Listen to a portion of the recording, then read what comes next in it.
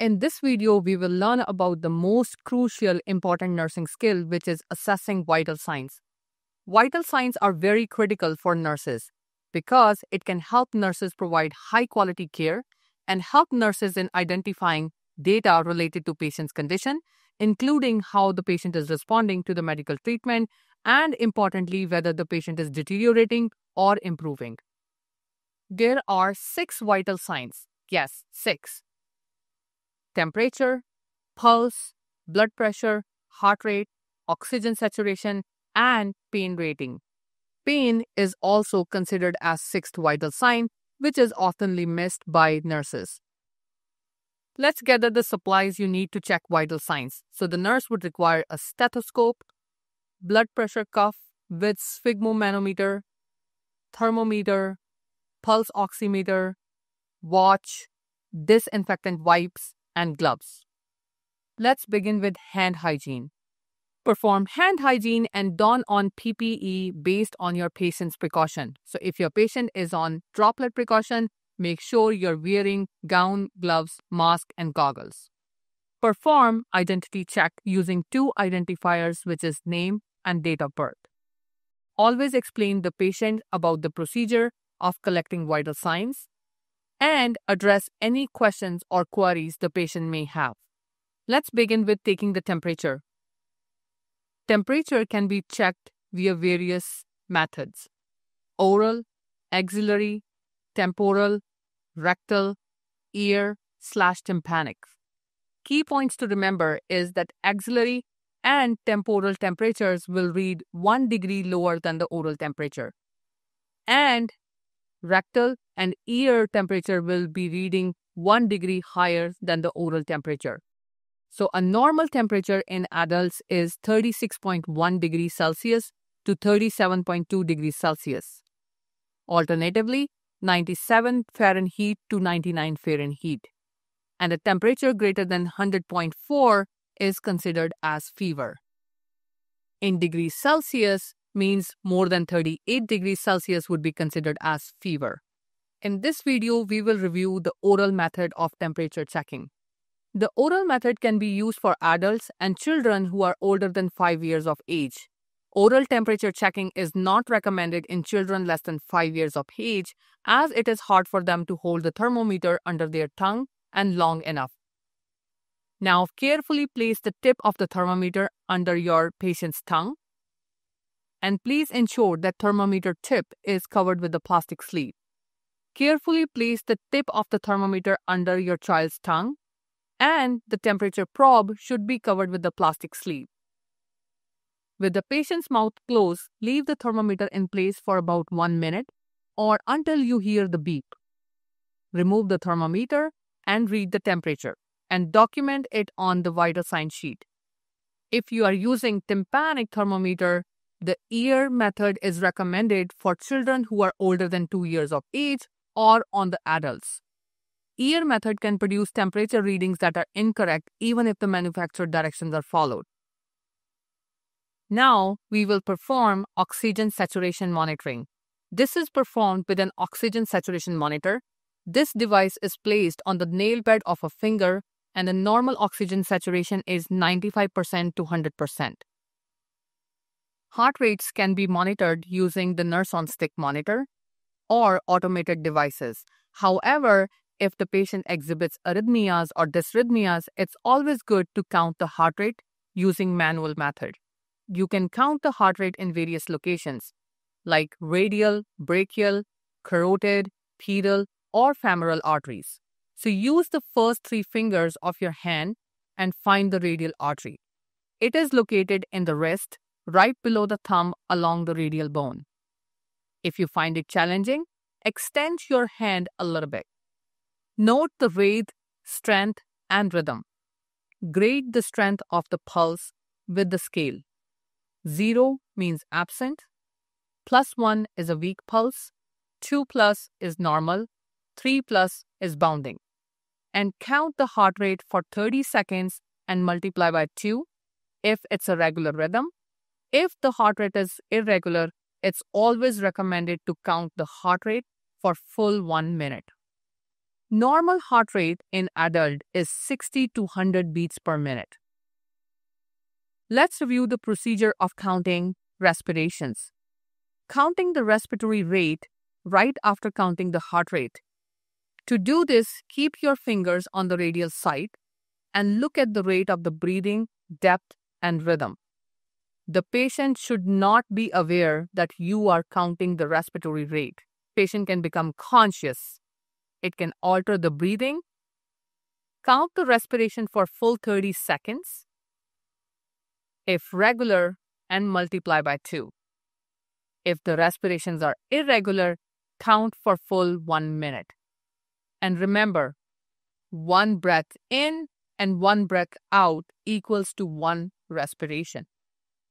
Normal respiration rate in adults is 12 to 20 breaths per minute. So if the patient's breathing rate is less than 12, it's going to be called as bradypnea. If the patient's breathing rate is more than 20, it's called as tachypnea. It's good to remember terminology. Let's review the pain assessment. Pain assessment is crucial and vital. Pain assessment can be done using various methods. One of the methods which can be done is PQRSTU method. In PQRSTU method, the nursing student or nurses gather the data about patient's pain. P stands for provocation. What provoked the patient's pain? Q stands for quality of the pain. Quality of the pain can be described as dull, sharp, twisting, shooting, crushing, burning, or throbbing pain. R stands for radiating or region. The region of the pain can help you further understand the patient's condition. S stands for severity. Describing the severity of the pain is not enough.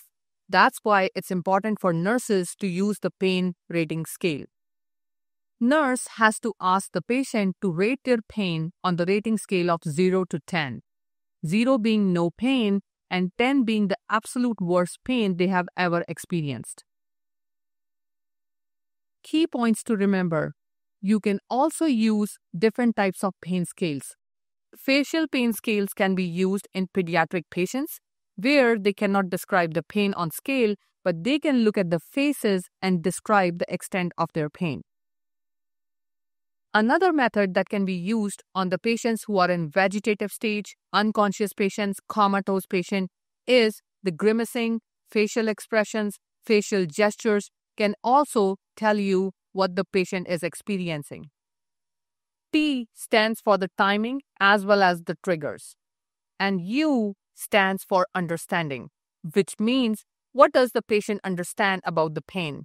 Have they done any home remedies or have they taken any over the counter medications to control their pain levels?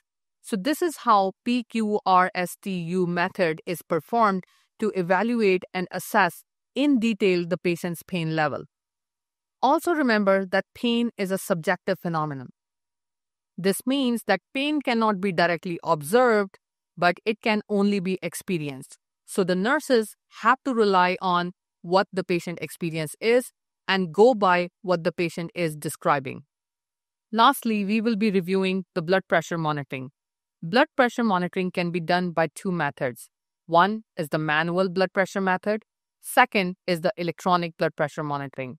Let's review the manual blood pressure method first.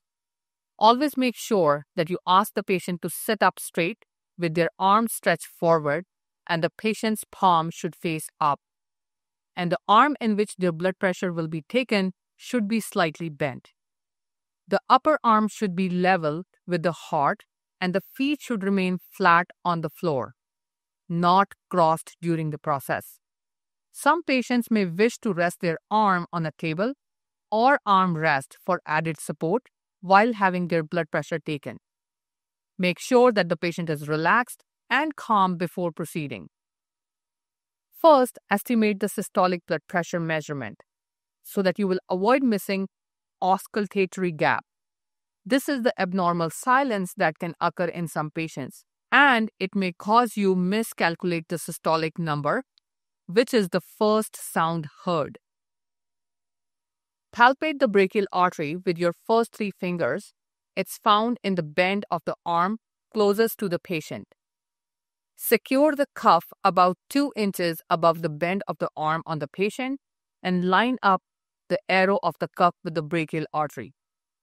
It's very important to use the correct size of the blood pressure cuff as blood pressure cuff comes in various sizes. Palpate the brachial artery again and inflate the cuff until you no longer feel the artery. The point where you no longer feel the artery on the gauge is the estimated systolic blood pressure measurement. Remember this number because when you take the blood pressure, you will inflate the cuff 30 millimeters of mercury above this number.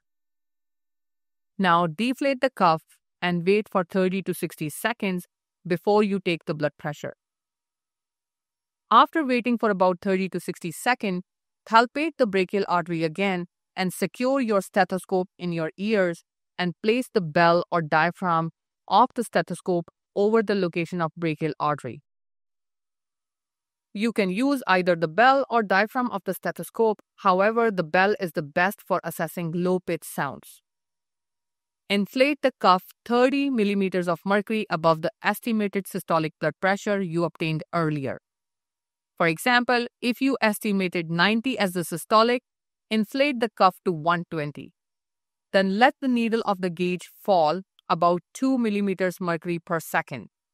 The first sound you hear is the systolic number.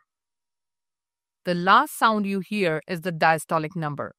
Once you note the diastolic number, deflate the cuff and remove it from the patient.